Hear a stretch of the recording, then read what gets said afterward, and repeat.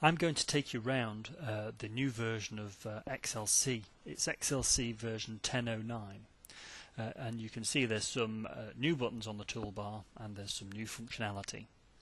Uh, the first new button is this button here. It switches on and off the automatic equation redrawing uh, that within XLC. Now previously this was on our about XLC and settings form but I'm making it a lot easier now to switch on and off. So it's on at the moment. It's off now. Uh, now it is important if you are working with uh, very large amounts of data that you switch off the uh, automatic uh, equation redraw feature uh, because if there's lots of if lots of cells need to be checked in your spreadsheet to see if it's affected the display of an equation it can slow you down.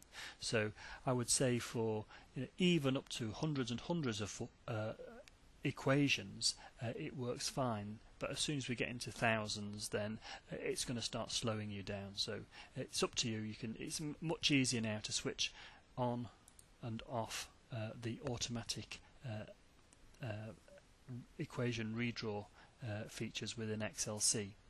Now, when it's switched off, XLC just sits there.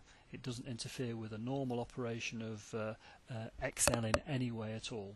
So, uh, if you're if you're not making equations, it's a good idea just to switch it off. Okay, but I'm going to switch it back on because we're going to use some now. I'm going to show off some new functionality. Uh, I'm going to show off first of all this functionality. Uh, and it's this is all about inserting table suffix tags. Now, up until now, uh, we've been able to display um, equations like this one here, uh, or this one here, where we, we, we, will use our equation show feature to look uh, inside cell C6 and display uh, a formula. And if we look inside cell C6, that's that's that's what typically goes on uh, in in as we've used XLC up till now. But of course, it being Excel, we will be using a lot of tabulated data. So I've extended the functionality of XLC uh, so that we can uh, show, let's say, uh, if I wanted to uh, see how this was calculated, I'm going to just show you how to do that. So as I mentioned, what I need to do, first of all, is name a column. So I'm going to name a column there and then I'm going to come back to our new button here. I'm going to tag these uh, pieces of text uh, with a tag so that they will become uh, suffixes to equation names. Let me show you what I mean. Let's try an equation show and let's see how we've calculated this value here. Okay, so when I press enter, uh, automatic uh, naming functionality is already on. So I can see that I've calculated uh, this by taking the ultimate stress uh, and multiplying by AM12. Now AM12 is A and M12 is across there. So I know exactly uh, how I've uh, produced that cell. So the this a, with the addition of this equation suffix, is a reference to a position in a table. Uh, and it's but it's still displayed in a nice uh, mathematical formula and I think it, it, it, leaves the equations quite readable. So the kind of thing we could do if we wanted to interrogate say this value here let's just uh, display it down there uh, 57989 and if we go EQS I'm going to show what that number is Okay, it's F M10, that's that number there.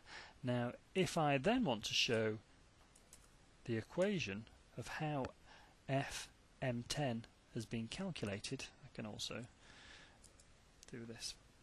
So uh, we can construct uh, uh, statements like this and equations to show uh, how we've used these values.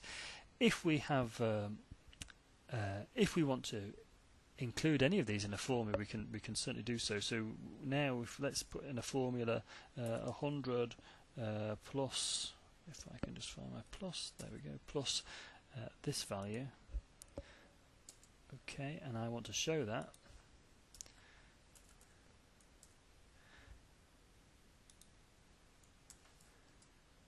Uh, okay, there we have it. So we're taking values from tables, we're determining determining a sensible name uh, for the value from the table and inserting it into an equation.